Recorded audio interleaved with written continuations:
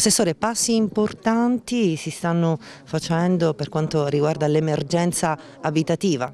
Sì, secondo cantiere che mm, viene aperto, quindi sicuramente un segnale importante perché aprire un cantiere di questi tempi in cui la burocrazia rallenta le procedure è un segnale positivo. Eh, come dicevo il secondo dopo quello di collatterrato eh, di quest'estate, quindi voglio ringraziare il Presidente, la dottoressa Maria Ceci che veramente ha dato un'accelerazione alle procedure per far rientrare la tanta gente nelle case. Tra l'altro eh, in queste settimane stiamo anche consegnando, domenica scorsa eh, a Colledara, gli immobili invenduti, anche questo è un segnale importante che vogliamo dare per permettere alle famiglie di rientrare in un nucleo immobiliare che sicuramente è un segnale rilevante, come dicevo prima, e soprattutto in un momento difficile quale quello dell'emergenza, quindi permettiamo a tante persone di riabbracciare con i propri familiari un'unità immobiliare. Poi si dovrebbe anche accelerare, mi permetta, sulla eh, parte burocratica, la richiesta da parte appunto della popolazione